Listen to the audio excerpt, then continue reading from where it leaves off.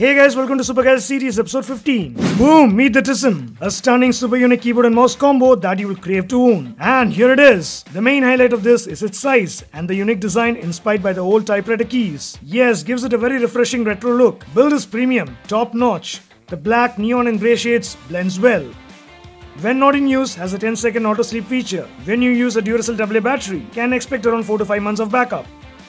And hey, this cute mouse is cool, light in weight, easy to use. Be it your laptop or desktop, best suited. Typing is a breeze and the keys are soft which don't make much noise. If you want to invest on a good combo for your workstation, then for around rupees 1799, this combo is something that you won't regret getting. Given its size, easy to carry along as well. In case you want a full-size keyboard and a bit of more colors, I have already featured the iGear Key keyboards. All these are super amazing. We'll leave the links to all the keyboards in the comment. Choose as per your liking.